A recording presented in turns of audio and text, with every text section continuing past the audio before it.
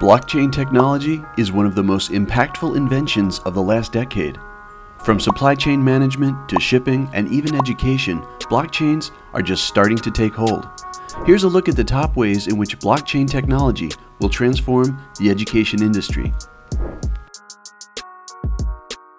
Students are all too familiar with the high fees and slow speeds involved in requesting transcripts for college or job applications. A significant percentage of institutions still rely on snail mail to send transcripts and charge anywhere from 10 to $20 for one request. Blockchains are a godsend in this situation, as not only can they be used to store sensitive information in a tamper-resistant way, but using blockchains to send transcripts also saves time and money. Additionally, saving transcripts to the blockchains ensures that they are protected in the case of server failures or natural disasters. The most prominent players in this space include Sony Global Education and IBM, who have partnered to develop a platform that uses blockchain to secure and share student records. Fraudulent degrees are much too easy to forge, with skilled forgers developing new techniques constantly to make sure that the forged degrees are undetectable. Blockchains can be used to issue unique digital assets that verify the credentials of academic degrees and certifications. This would make it much easier for potential employers to verify the degrees and save valuable time and money. Learning Machine is a startup that has been working to address this problem for over 10 years. Recently, it has partnered with the MIT Media Lab to launch the BlockCerts toolset, which will provide an open infrastructure for creating, issuing, viewing, and verifying blockchain-based certificates.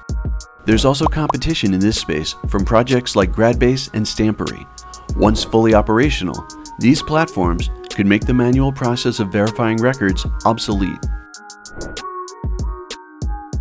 Colleges and universities are known for providing large amounts of online cloud storage to students and faculty to promote collaboration. However, existing cloud storage platforms like Dropbox and Amazon Cloud are quite expensive, and the cost of those subscriptions is usually passed on to the students in the form of higher tuition. Blockchain-based file storage can be very useful here as it can bring down the price of cloud storage by a lot. For example, projects like SiaCoin and Filecoin are called the Airbnb of file storage because of the lower costs compared to traditional file storage platforms. They do so by leasing out unused hard disk space in computers around the world in exchange for payments in cryptocurrency. College IDs are used for a host of benefits from lower cost subscriptions for Amazon Prime, Hulu, and Spotify to software licenses from Microsoft and Adobe. However, since fake college IDs are easy to manufacture, these services often have to shut down programs to prevent losses. Identity management is difficult because there are thousands of students to keep track of every semester at every college.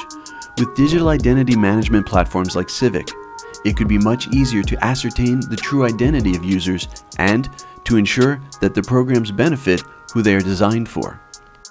For more information, you can visit our website, blockchain-council.org.